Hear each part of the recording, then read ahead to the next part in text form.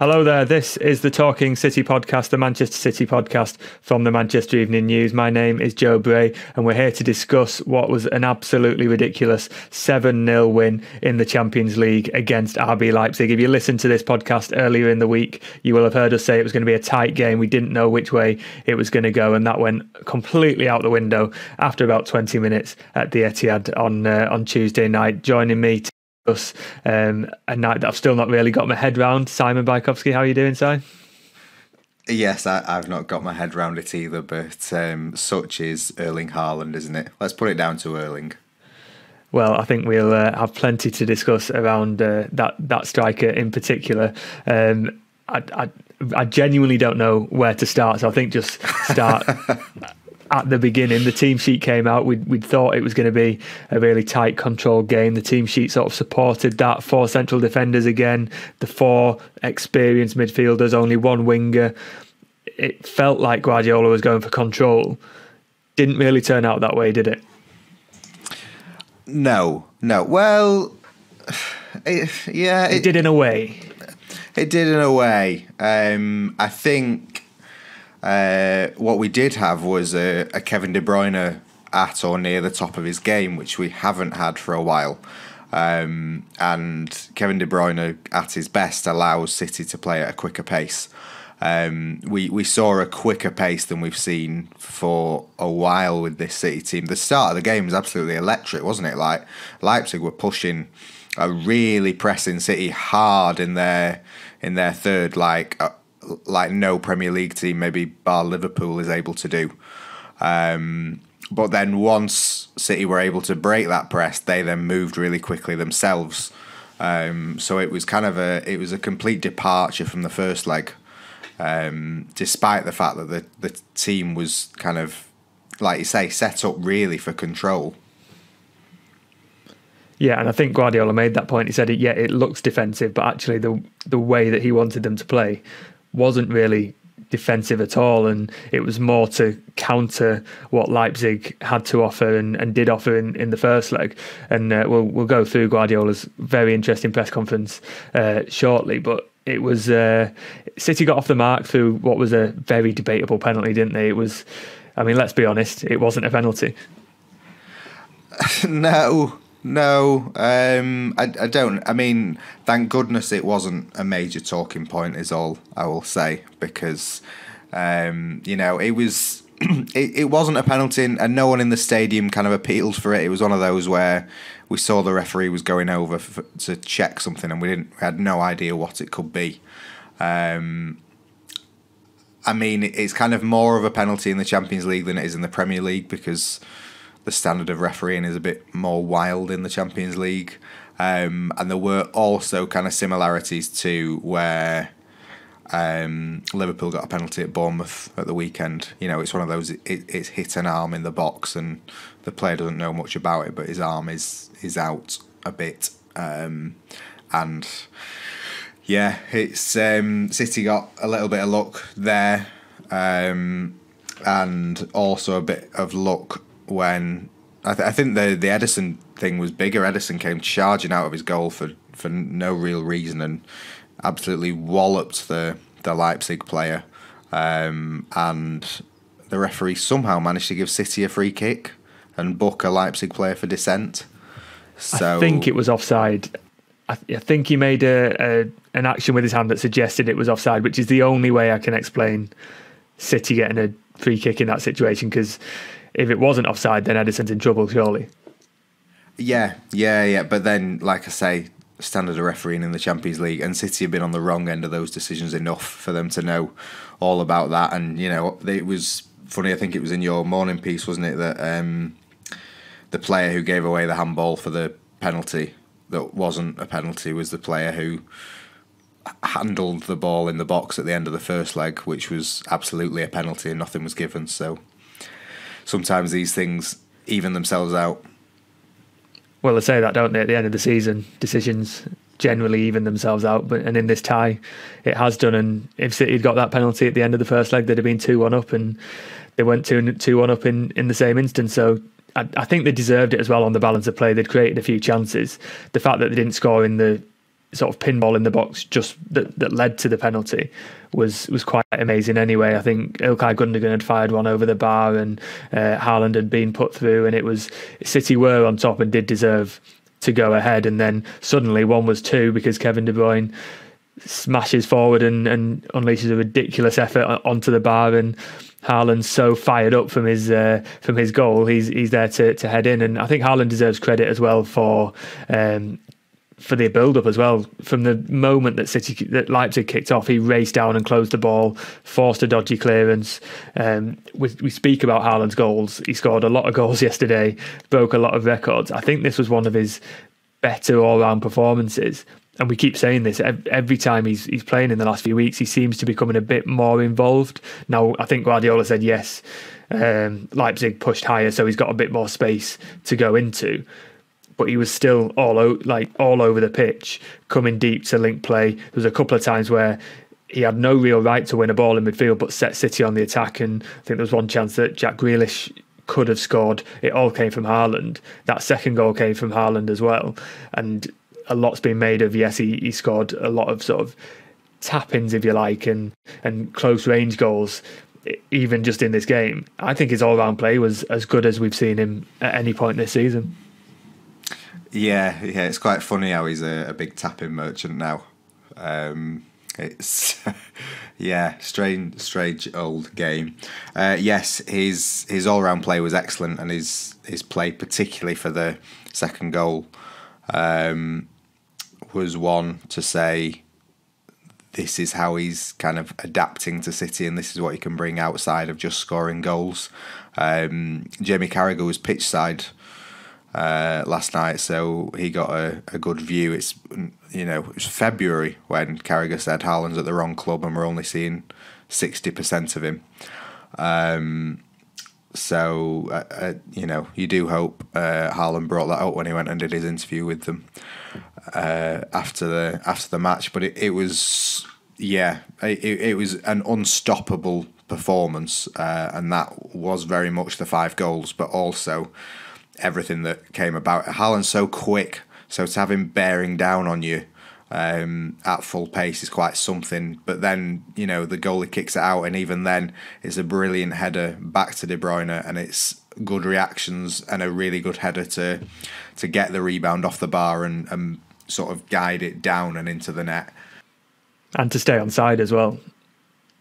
And to stay on side, yeah. Um, faultless, faultless performance from him. 10 out of 10 in your ratings. There was no real no real question about that was there a 10 out of 10 uh, no no no um, and you know i try not to give 10s i really try not to give 10s i think i've only given him one other 10 but i, I can't think of too many times i've given any other players 10 um, I think I gave Haaland and Foden 10 for the derby when they both scored a hat trick. Um, but like, what what else could you could you give him after five goals and, and that performance? And you know, had he stayed on the pitch for the last third of the game, I think we could be talking about seven or eight. I think Sergio Aguero has come out and said that like why did you take him off Guardiola? Because he, he could have scored six or seven or, or more. And, and Haaland said that, didn't he? That as he went off, he told Guardiola he wanted a second hat trick. But in response, I, I, liked Guardiola's answer. He said, if we give him all the records before he's 23, he'll have nothing to do for the rest of his career, and he's, he's got to have something to aim for. And on, on that sort of form, you, you feel like he he will he will get those sort of records. And I mean, he got enough last night, didn't he? He became City's all-time top scorer in a single season with with 39. He was the quickest player to score 30 in the Champions League by um, by age and also number of games, and only the third player to score five in in a Champions League game. It's not not a bad night, is it for? Uh, for, for I think he can uh, let Guardiola off, off bringing him off for that uh, double hat trick. But he also said in one interview that basically read between the lines, but City know how to win the Premier League, and they brought me in because they've not won the Champions League yet. Is this the kind of game that City did have been waiting for him to make the difference in those big games? He there was no doubt he was going to score that penalty when it was nil nil, was there? And after that, it was all about Haaland to take the game away from from Leipzig. This was this felt like a game where this is why City bought him. Yeah, absolutely. Um, but I would also say that you know Palace away um, or even Palace at home is a reason that they they brought him in because he's there to, to score the goals that they otherwise wouldn't. But yeah, this was, you know, it was a, a tough night, and Guardiola had built it up into being a tense, like on a knife edge, could go either way. Um, and all the players had come out before the game and said, oh, we need the fans, we need the fans to be at their best because we really need this result in this game. And you don't do that unless you're really, you know, genuinely concerned that the result could go against you. Um, and you know, you look at what Guardiola said after the first leg, like you know, people expect us to win five 0 but these are a really good team, and then within minutes that looks absolutely ridiculous because Haaland has just steamrolled them and um, you know turned what was a, a really sort of tense evening into a big stroll where every time Haaland gets the ball, you think he's going to score. I think he had already had eight shot, eight eight shots, um, and all were on target. So that is that is clinical, precise finishing. That. Yeah. I think I turned to you after his maybe fourth or fifth and said, "Yeah, but are City better with Haaland? Of, of course they are. when, when, when he's like that, you you can't argue that, that that they're not at all. And I think I think it was um, uh, I forget the name, but one of the Leipzig players basically said we've got no chance. We had, we had no chance in that game because City were City had made the mind up they were going to win that game, and they did. And I think Marco Rose afterwards, the manager said, "I told you what Haaland was going to do before the game. He's obviously managed him before. He was like, there's nothing new I can say about him, but he is he is that sort of player who can who can take the game away from you on, on his own. And no, it was uh, it was an absolutely fantastic performance. And to, to, your other point on the Champions League, like yeah, Haaland's not going to get that space to sort of press the goalkeepers and charge about the defence every game, but he's more likely to get it in the Champions League than he is the Premier League, and so that is where he's kind of more equipped to win City the Champions League than he is the Premier League. But you know, he's very well equipped to win them both. Yeah, and he may well may well uh, do so. Obviously, City have a, a, long, long way to go in the Champions League, but this it felt like a bit of a statement of uh, of intent. And a lot of teams around Europe who are still left in the Champions League will think, "Wow, seven 0 is a, a very, very good scoreline." I do want to talk about Kevin De Bruyne because uh, Erling Haaland obviously scored five, broke all the records, has taken all of the headlines, but Kevin De Bruyne was brilliant, wasn't he? Just behind him, running the show. And if, if that is back to basics, then I think he's redefined what basics are. Yes, yeah, it was it was one of those performances from De Bruyne where he is just a joy to watch, um, and everything kind of came off for him where it really hasn't in in the last few weeks and whatever. And uh, you know, absolutely thunderous effort off the underside of the bar for Haaland to, to score his second, and then that um, his final goal was was really really good. Um, it just typical typical him really. Um, he yeah, I think there was, there's been a lot written about De Bruyne this week, and kind of after he he stopped at uh, Crystal Palace and talks about being an old man, not necessarily being meaning he was ancient, but it kind of all fitted into a narrative that he was kind of on his way out, and um, you know, what, were we still living in Kevin De Bruyne's world? And the answer is yes, yes, we are. Um, and I think you know, from a City point of view, Haaland is the one who gets all the headlines, but I think you see the best of Haaland when you have De Bruyne at or near his best because um, there's still no one who's quite able to kind of gel um, the attack quite like De Bruyne. Gundogan has done very, very good job at it this season, uh, and certainly in recent matches, and is a very good player. But he's he just doesn't have that that vision um, that De Bruyne has got. And you know, again, if City is to go far in the Champions League, they will need um, De Bruyne in that kind of form that's it. When when when De Bruyne is is playing well, he, he is the, the best in Europe in that position, and and, and you need him. It, it, was from the sort of the first minutes where him and Bernardo were linking on that right hand side, and he was whipping crosses in, and they might have reached the man, they might not have done. There was one outside of the boot effort that looked to the back post. It didn't get there, but you could just tell he was in the mood. There was a quick free kick that sent Gundogan into the box for an effort it was a different De Bruyne than we've seen from the last couple of games, where he did look a bit frustrated. He was giving the ball away, and he, he just looked like he was in the mood and he was going to make a difference in, in that game. Obviously, the effort that came off the bar, but he was involved in, I think, at least two or three of the other goals, and his set pieces were brilliant. And no, it, it was it was one of them games where you you sort of realised you were watching a good player at the top of his game. But again, Guardiola brings him a little bit back down to earth in, in the press conference. I asked him, like, you, you asked him to go back to basics, if you like. And then he's put in that performance. You must be really pleased. And he said, Yeah, I am. But De Bruyne has to realise that when he's like that, he's unstoppable. But he still has to do the simple things right, which is keep the ball and, and do the passing. And he sort of indicated that not every game will be like the Leipzig game. And he still sort of challenged De Bruyne to be a bit better in those basic things. We, we were sort of talking about this.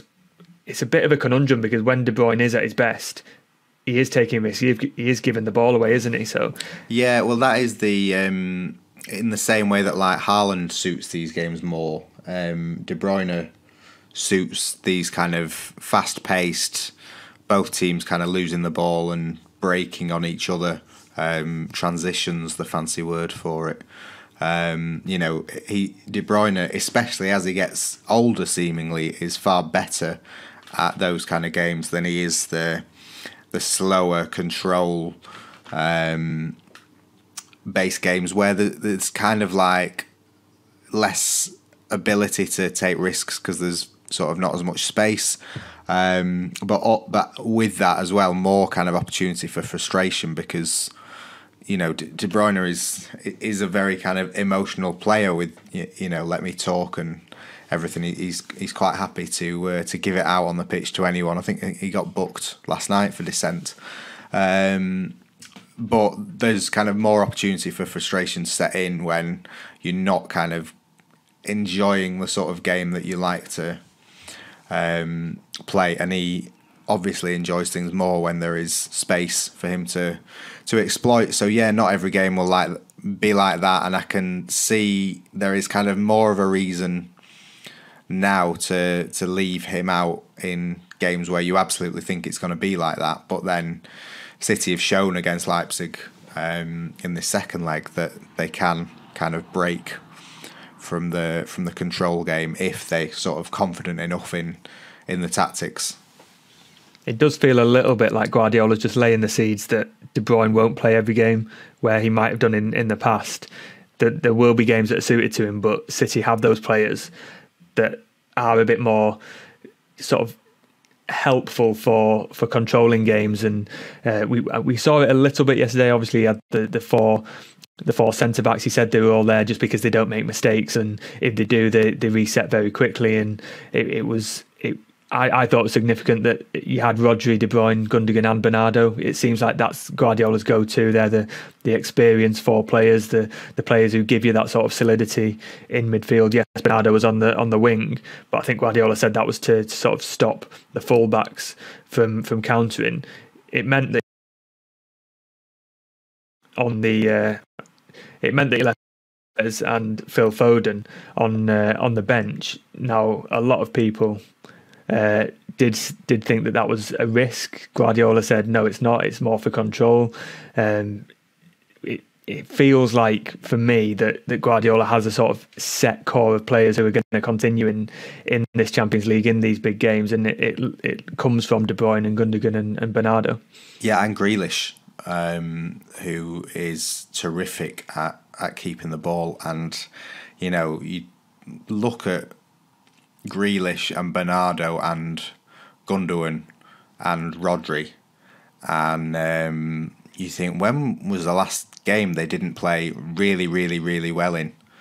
Um, you know, I sort of remember Rodri being bad when they lost at, Spurs, um, and he was really bad then. But since he's been out of this world, um, and Grealish and Bernardo again have just kind of lifted their their games. Grealish has been on it since the World Cup, but you know he he's continued in that level and he's kind of overtaken Mahrez in the sense that Mahrez was was doing a bit more than him in the first few months after the World Cup. Um, but Grealish has elevated his game even further, and that's why he's starting ahead of Mahrez, even though you know, Mahrez has got so much going for him and he's got the experience and that mentality. He's kind of missed the Champions League. He, he absolutely loves those kind of knockout nights. But so for him to be on the bench, there must be some other players in seriously good form.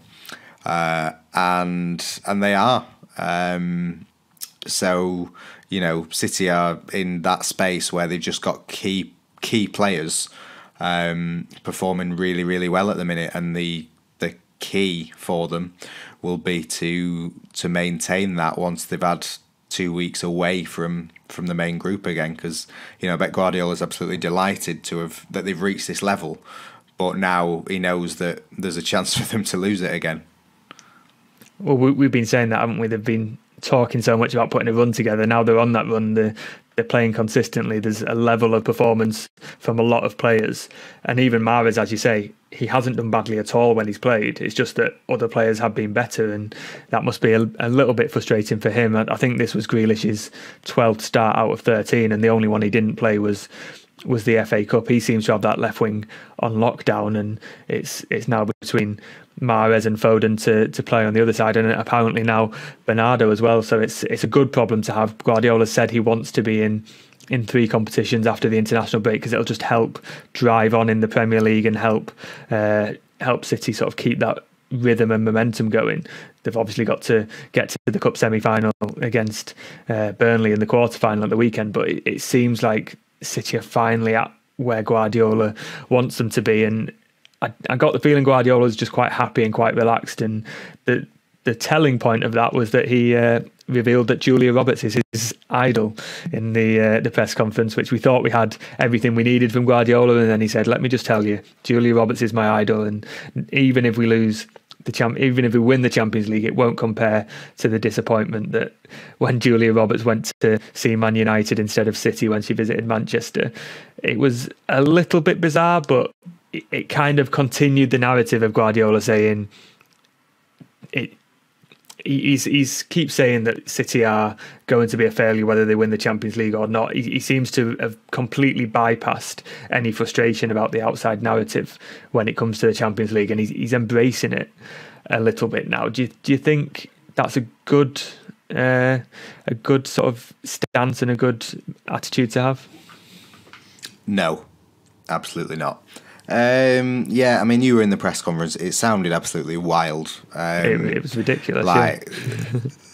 very elaborate Julia Roberts tale for um, sort of very little kind of reward or punchline or like just just an odd thing to say. Um, and also, yeah, this idea that like, oh, we're a failure. I'm a, I, I'm a failure. It, it's just kind of a bit weird.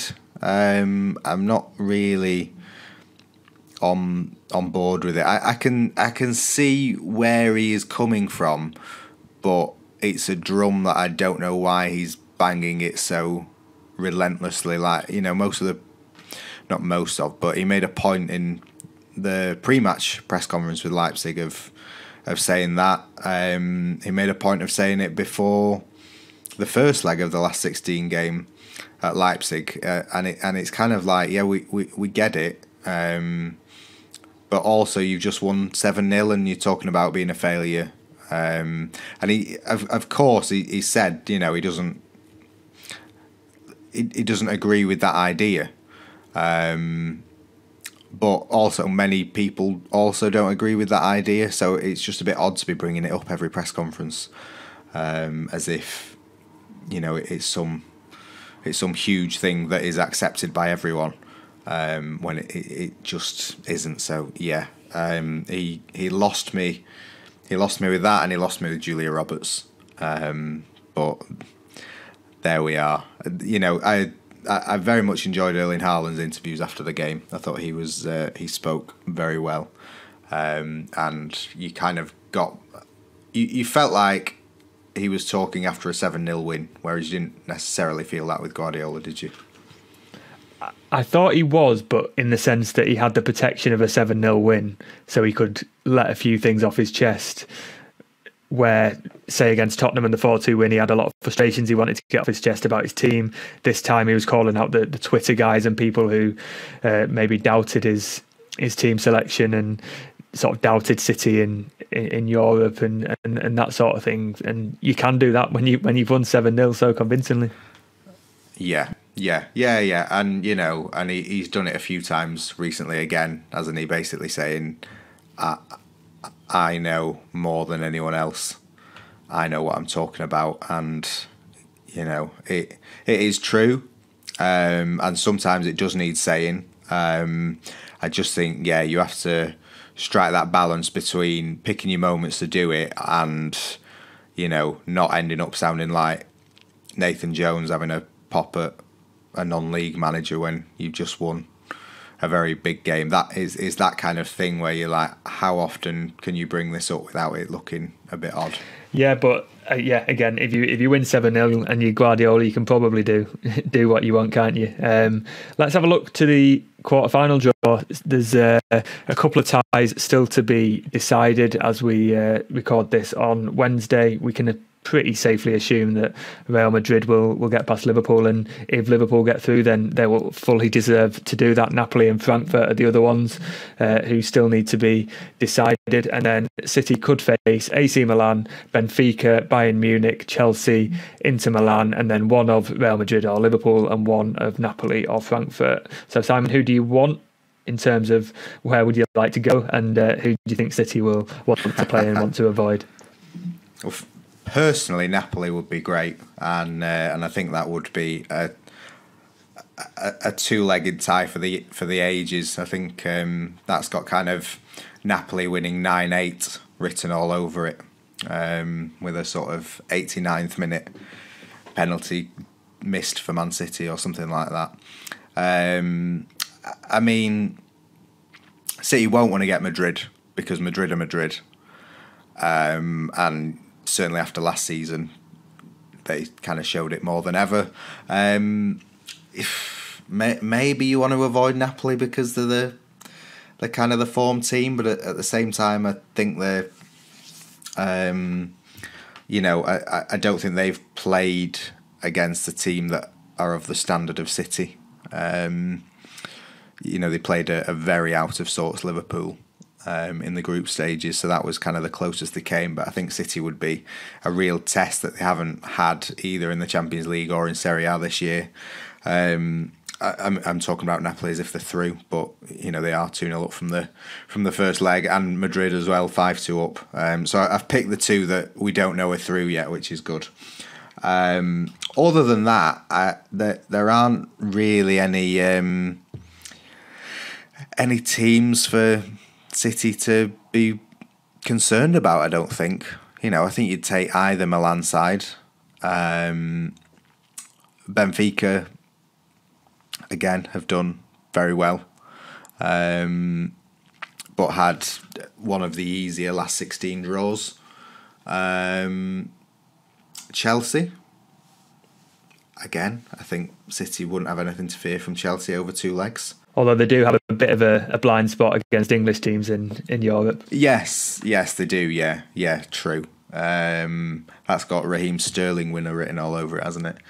Um, yeah, Munich are are not the great force that they have been, um, and you know, there's obviously João Cancelo over there who can't seemingly get a game for for them when he wants, which would be sort of a, a, a, subplot to to that tie. But you know, I don't think Bayern Munich are as strong as they have been in um, the last few years. Certainly, you know, when they won it in 2020, and they just looked absolutely unstoppable. And now, yeah, not not so much. They're kind of struggling to keep top spot in the in the Bundesliga. I'm sure they will win the Bundesliga because they, they do it every year. But um, it, it's it's not been as plain sailing for them. Um, so yeah, I basically for for City.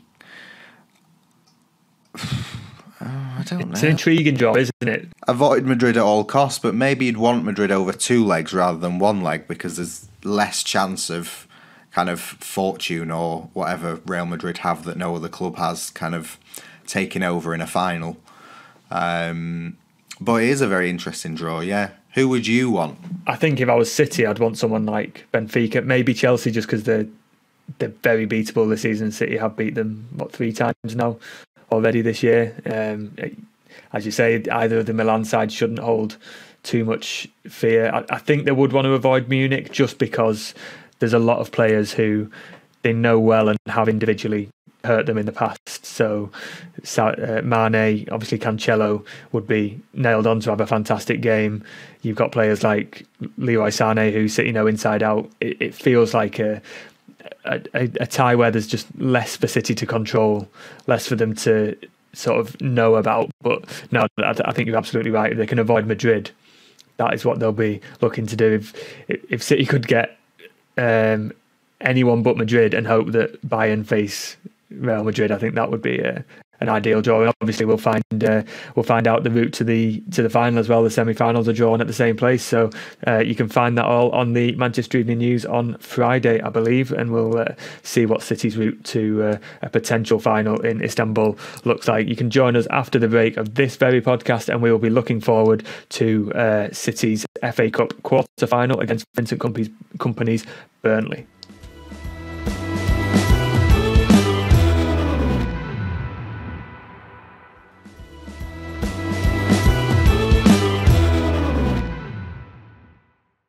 Hello there, welcome back to the Talking City podcast, and we'll be looking forward now ahead to the uh, FA Cup quarter final against Burnley. But first, Simon, I believe you have some uh, contract news for us.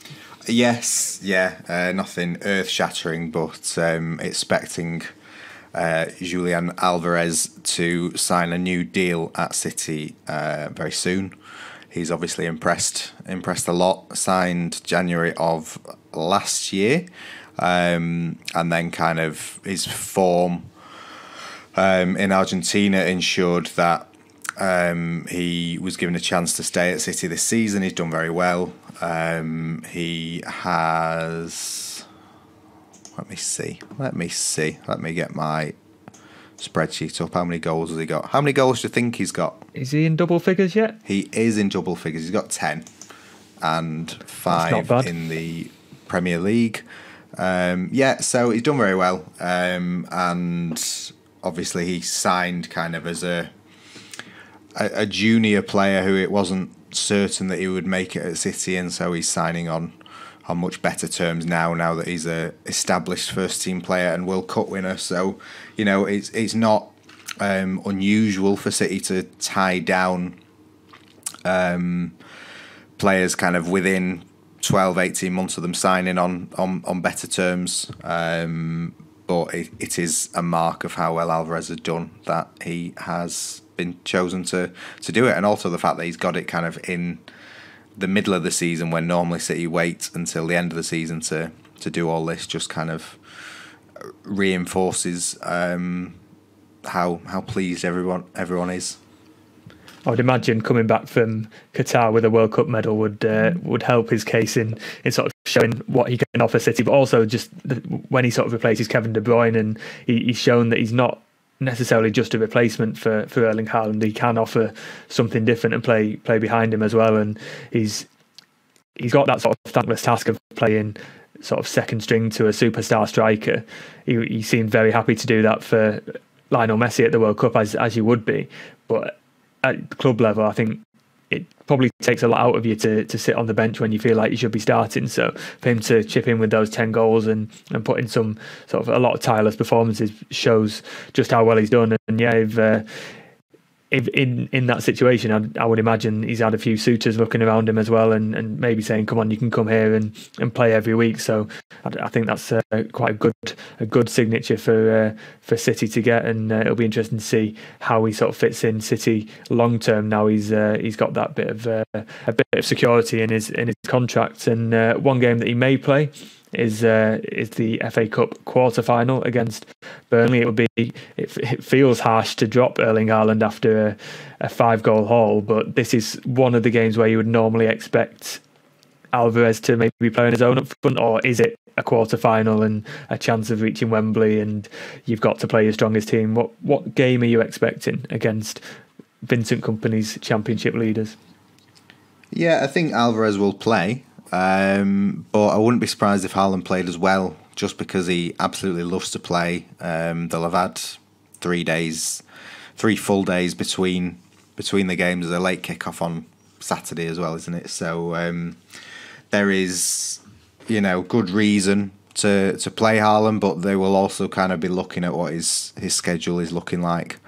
Um, and how his, his fitness is because I mean that has been a bit of a, an underrated triumph for City as well. The fact that they've been able to get Haaland to turn out for so many games. Um, I think Rodri's maybe the only outfield player that has played more than him this season. So uh, probably nobody was expecting that. But yeah, you would be expecting Alvarez to come in. You would expect kind of um, Kalvin Phillips to get at least a good chunk of minutes. Um, we kind of saw last night, didn't we, with Leipzig, how Phillips and Gomez and um, Alvarez came on uh, once once the tie was all was all wrapped up. You'd think it's kind of perfect for Riyad Mahrez to get a game again um, after sitting out more games than he would like in recent weeks, and kind of surely Aymeric Laporte could could start a game. Um, you know, not to is not disrespecting um, Burnley because these are all you know top class international players, but at the same time. Uh, they are a championship side. There is a gulf there in quality that should be shown whoever City put on the pitch, and, and it is a really good opportunity to um, to just kind of help a few players feel a bit more included than than they have been in recent weeks.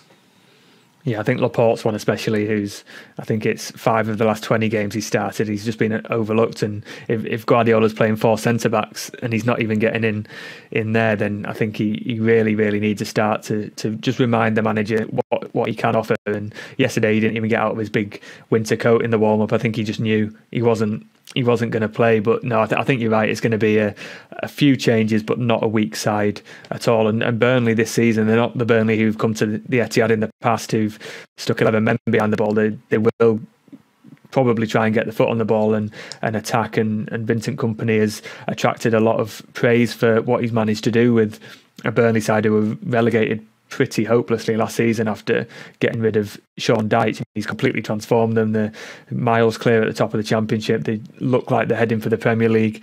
And uh, Guardiola went and said that it's Kompany's destiny to uh, to manage City. Um, he unhelpfully said it not immediately before the game, where it would have been a fantastic line this weekend. But still, it's quite significant, isn't it, for for Guardiola to say that this this player, this manager, could be a future City manager. Now, Kompany has come out and said, "No, listen, I'm still a Championship manager, and City deserve the best manager in the world at the moment. That's Pep. When Pep leaves, they will need to have the best manager in the world, and that's not him at the moment. So he's ruled it out for the time being, let's say. But do you do you think this is going to be a case of uh, a potential successor to Guardiola coming to the Etihad? I can't think of anyone who you know the the decision makers at City would love to be manager and be a successful manager at City than Vincent Kompany.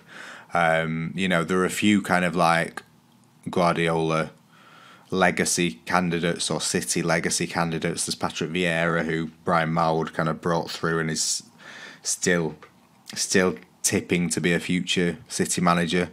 Um, there is uh, Mikel Arteta, obviously, but those kind of links don't go beyond Guardiola um, and, and, and the current players. Um, and but Kompany is the one where it would kind of be, you know, really a, a consolidation of of the projects over the last fifteen years. Um, to have a, a, a player who's been as good as City, um, as good as Kompany was for City, uh, to have him come back and manage them and, and return as like as a successful coach, having learnt under the managers that he's learnt from, and especially Guardiola, um, but kind of make it his own way. Um, we spoke last week on the podcast, I think, about how Kompany's kind of tried his best not to pretend he's kind of city light, and he's he's had success with that. And um, yeah, like everyone will be delighted to see him on Saturday um, back in the ground. I'm sure he'll get a fantastic reception.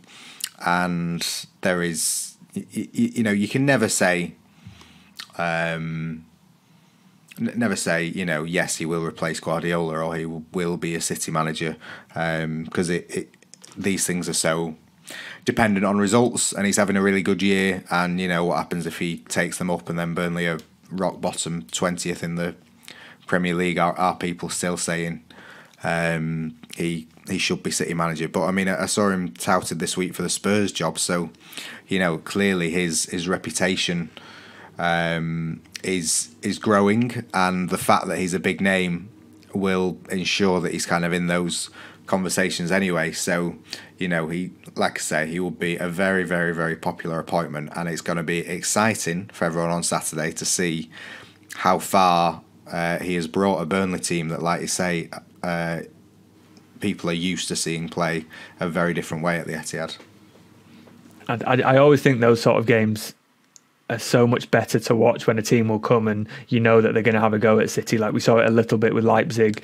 I think I remember an equivalent game was it Fulham last season in, in the cup. They were top of the championship, and because they were used to winning games and had their style, they played sort of a bit a bit more open. Yes, City won, but it was just a lot better to watch. It's always just refreshing when a team comes and, and, and has a go, and it'll be re- hopefully refreshing to see a Burnley team do that. Until I'm sure after I've said that now, they will uh, just park the bus and, and, and try and ground out a result as as a typical Burnley side, if you like, always always do. But no, I think it will be a, a really interesting game, but one that City know that they are um, a division above and, and, and should win and take the emotion out and, and just try and get get to Wembley. And I, I think if anything other than a than a City win will be a, a, disappointment. But if they do get that, it will be it'll keep City's season alive. As Guardiola says, he said he wants to to get City. Uh, past the international break in those three competitions just to keep the winning feeling going and uh,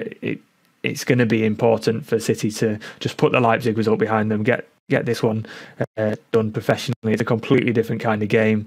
I think Burnley are bringing about 8,000 fans, aren't they? So that should be a, a good atmosphere at, at the Etihad and uh, it should be a, a cracking FA Cup tie and one that should potentially lead to, uh, to a Wembley semi final. So if you want to follow uh, the City Burnley game build up and reaction, you can do so on the Manchester Evening News, on uh, Twitter, on Facebook, and on our YouTube channel.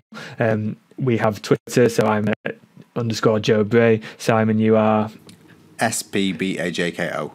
Nice and easy. That that one, and uh, yeah, we will bring you all of the uh, FA Cup. Uh, reaction and potentially a uh, draw obviously the champions league draw as well um, and all of that will be with you on the manchester evening news so thanks for joining us and we will join you again next week